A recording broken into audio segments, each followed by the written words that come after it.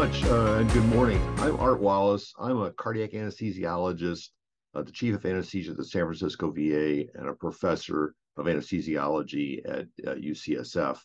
And I'm also the founder and CEO of Atapir.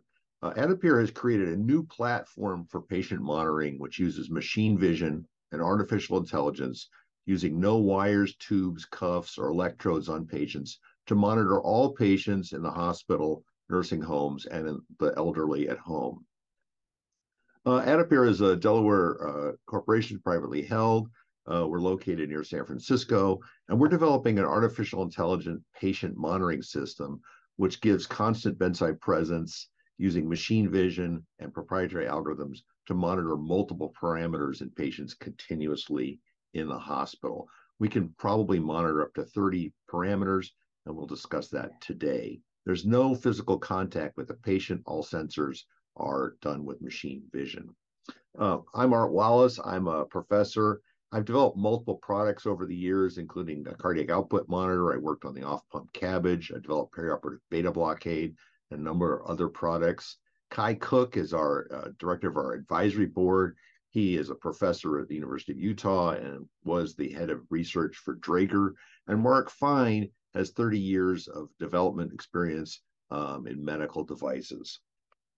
Um, what is our need? When I was a resident, I went to a code at 3 a.m a 12 year old girl had had some oral surgery and someone decided she'd be more comfortable if she spent the night in the hospital. At 2 a.m., a nurse entered the room, uh, gave her a shot of morphine, and at 3 a.m., she was found dead. Uh, this devastated everyone involved the team, the family, everyone. And these events are sadly more common than we'd like.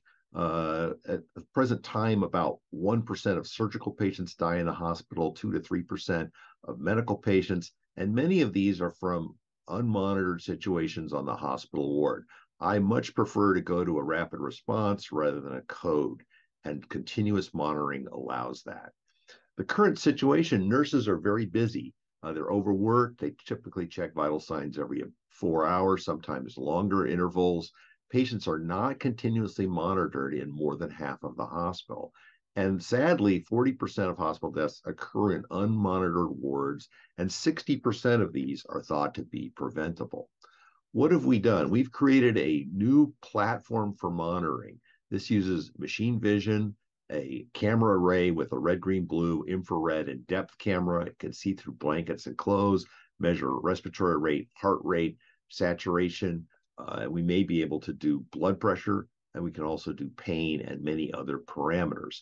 We've tested this in 200 patients in the hospital and uh, 30 plus patients in our volunteers um, to validate it. So we've done clinical testing on our device.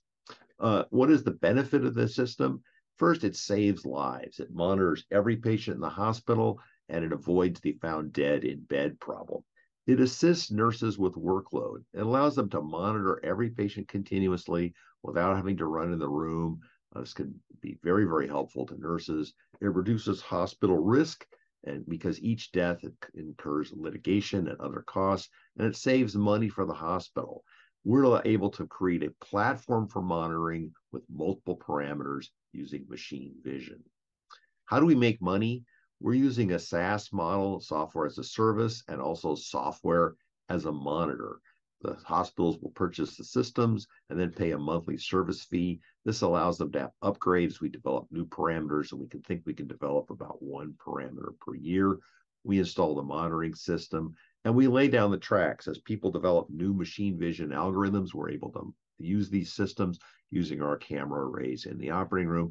This can be used for fall detection, uh, administrative support, and other techniques. The proposed financing, we're issuing a convertible note.